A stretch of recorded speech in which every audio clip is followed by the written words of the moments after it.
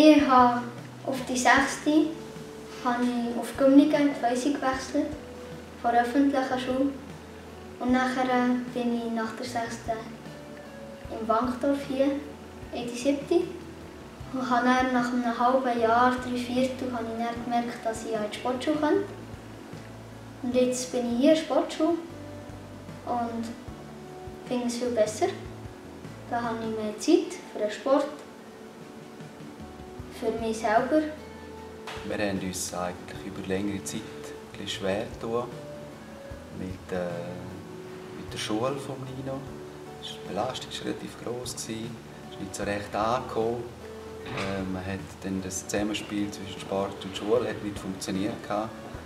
Und haben sicher über ein halbes Jahr aus hat man Gespräche geführt in der Schule, sind nicht weitergekommen und haben dann nach Optionen gesucht. Und, und unter anderem mit Fäuse angeschaut, haben sich dann schlussendlich auch für die Fäuse entschieden. Wir waren sehr, sehr zufrieden. Gewesen. Wir sind äh, gut angekommen in dem Sinn.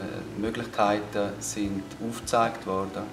Eigentlich kein Stein in den Weg geworfen, sondern genau das Gegenteil.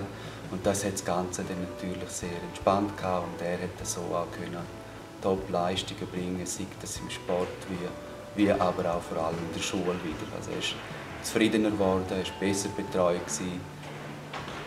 Was wir geschätzt haben, ist die äh, zuvorkommende Art äh, von der Schulleitung auch, äh, dass man eingebunden ist in, in, in den Schulbetrieb oder in, in den Gesamtbetrieb und dass man dann eben so die Möglichkeit kriegt, um das individuell aufeinander abzustimmen.